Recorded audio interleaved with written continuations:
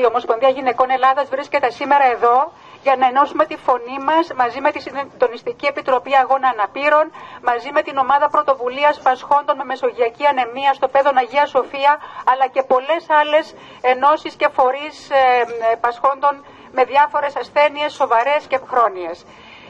Είμαστε εδώ γιατί θέλουμε να διεκδικήσουμε μαζί σας για, τους, για τα άτομα με ειδικές ανάγκες, δημόσιες και δωρεάν δομές, γιατρούς, φάρμακα, αναλώσιμα για όλους, είτε είναι ανασφάλιστοι είτε ασφαλισμένοι.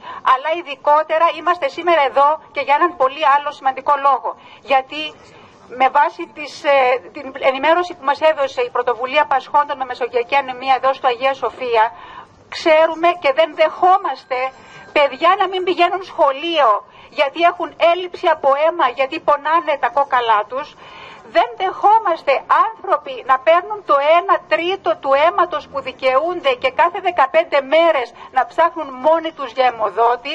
Δεν δεχόμαστε να μην μπορούν να πηγαίνουν στη δουλειά τους και να κάνουν τις καθημερινές τους δραστηριότητες. Γι' αυτό είμαστε σήμερα εδώ, ενώνουμε τη φωνή μας με όλους και ετοιμαζόμαστε για μια μαχητική πορεία στη Βουλή.